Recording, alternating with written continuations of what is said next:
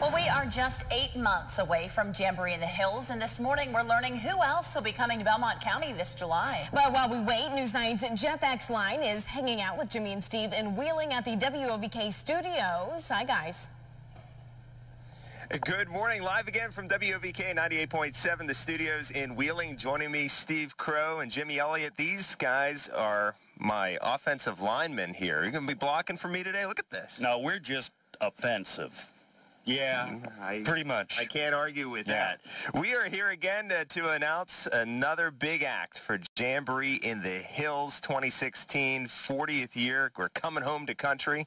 We're going to bring it home today, right? Where's your fancy shirt today, Jeff? Oh, it's over there. It's hanging up. I'll, He's in a parade tonight. He's got to have his sweater on for Christmas. Oh, that's right. Yeah, I'm doing double duty. We're doing parades out there and here. We're, we we could have a parade in here if you like. And hope we're going to have a big parade on November 40th, right? Whose phone is that? Yes, we are. My phone.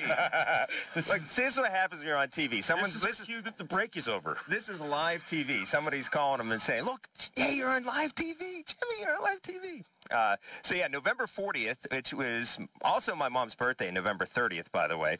And but she's only 29. Yeah, she's only 29. That is the big one-day sale for Jamboree in the Hills 2016. Exactly. That's the day you get your camping passes, uh, you get your tickets for the show, your four-day passes, and you save a bunch of money. And so far, who do we know?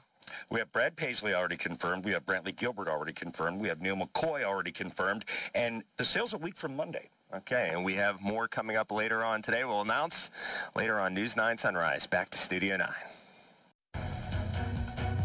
And good morning. Right now, 37 degrees, a light wind out of the west. It's